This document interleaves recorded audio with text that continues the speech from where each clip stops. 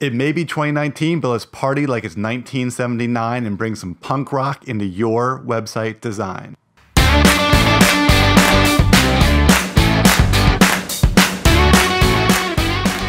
I'm convinced that in 2019 and 2020, we're going to see a whole lot of designers taking inspiration for the web from the punk rock designs of the 1970s and 80s. In this video, I'm going to cover a couple of CSS properties that are going to allow you to introduce a little teeny tiny bit of punk rock into your designs in a clean way so that you can start taking your first baby steps into this new world. Let's go ahead and get started in the code.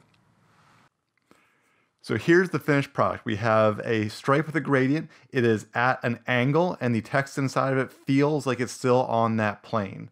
So we're gonna go ahead and switch over to a code view. And you can see this is our starting point. We have kind of an average stripe on the web, a little bit of padding top and bottom, a little padding left and right. And then you can see I've already just set up a, a linear gradient for the background. And we have very, very simple HTML to accomplish this. We have a stripe, we have a container for our content, an H1, and a paragraph tag inside. So we're going to start by using transforms in CSS. And transforms you've probably used a decent bit doing some simple animations, but they're also great for static content as well. So the first thing that we're going to do is we're going to actually rotate the angle of our stripe. And to do that, we're going to introduce a transform, and the syntax is just transform colon, and then you can put in any of a number of transformation methods. And what we're going to use is the rotate method, and that takes a couple of parentheses there. And then we're going to, inside that rotate method, put either a turn or a degree. And so in this case, we're going to use degrees, and we're going to rotate this negative five degrees, and that's going to give us that direction that we want. And now you can see around our edges, we have some white space that's creeping in, some awkward white space on the left and at the top right up there. And you can also notice that we are now going off the screen up top. So to fix parts of this, we are going to introduce the skew method inside of our transform as well. Now it's important to note, we don't want to come down here and add a new transform property. That will actually overwrite our rotation.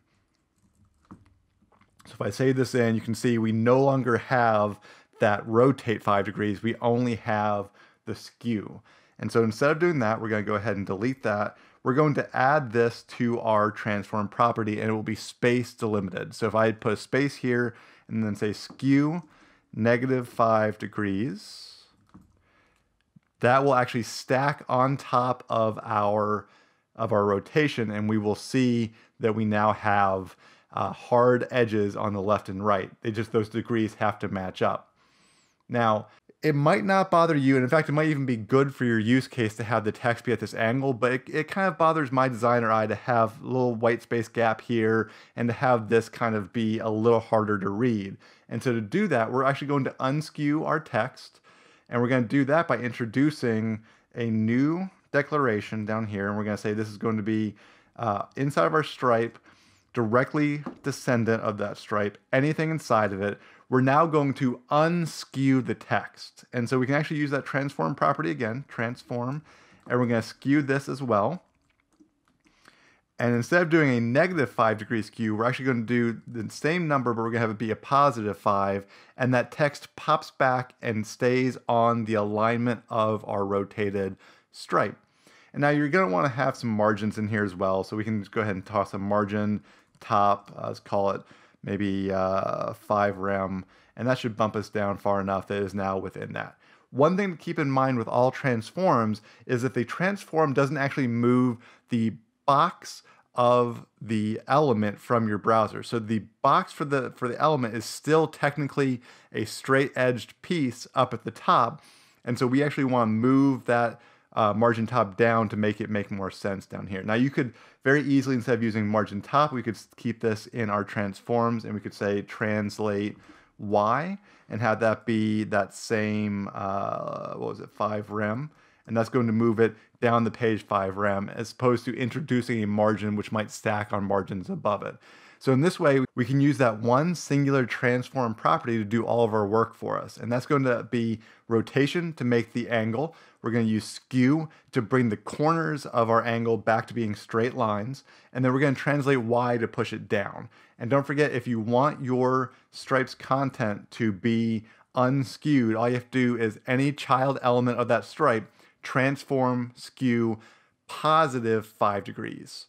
So that's it. That's really all it takes to get a little bit of punk rock into your design in this modern age. And we can do a whole lot more than that. And I'm going to be covering that in future videos. So I hope you got something out of the video today. And I know that it is not very punk rock of me to ask, but if you could, hit that subscribe button down below or that share button and let your friends know that they too can introduce some punk rock into their designs. And if you like this video, be sure to check out my other videos I have on this channel covering things like CSS Grid, CSS After Elements, and even a little Sass. See you next time.